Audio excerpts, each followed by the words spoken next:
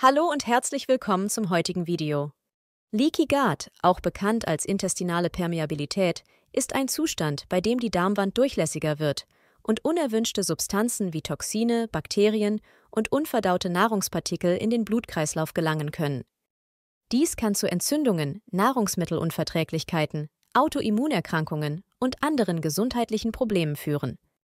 Symptome von Leaky Gut können vielfältig sein und umfassen unter anderem Verdauungsbeschwerden, Müdigkeit, Hautprobleme, Gelenkschmerzen und Nahrungsmittelunverträglichkeiten. Um Leaky Gut auf natürliche Weise zu heilen, können verschiedene Naturheilmittel und Lebensstiländerungen hilfreich sein. Probiotika.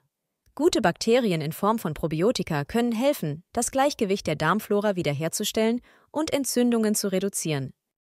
Es handelt sich um nützliche Bakterien, die die Darmflora unterstützen und die Darmgesundheit verbessern können. Die Einnahme von probiotischen Nahrungsergänzungsmitteln oder der Konsum probiotikareicher Lebensmittel wie Joghurt, Sauerkraut und Kefir kann bei der Wiederherstellung des Gleichgewichts der Darmflora helfen. Präbiotika. Präbiotika sind Ballaststoffe, die das Wachstum von gesunden Darmbakterien fördern. Lebensmittel wie Knoblauch, Zwiebeln, Chicorée und Artischocken sind reich an Präbiotika und können die Darmgesundheit unterstützen.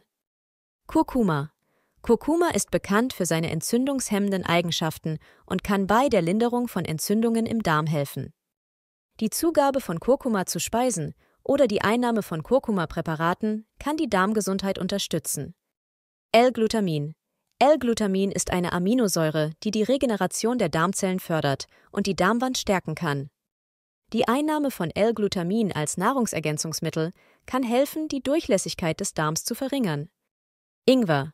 Ingwer ist bekannt für seine entzündungshemmenden Eigenschaften und kann bei der Linderung von Symptomen wie Magenschmerzen und Verdauungsstörungen helfen. Aloe Vera.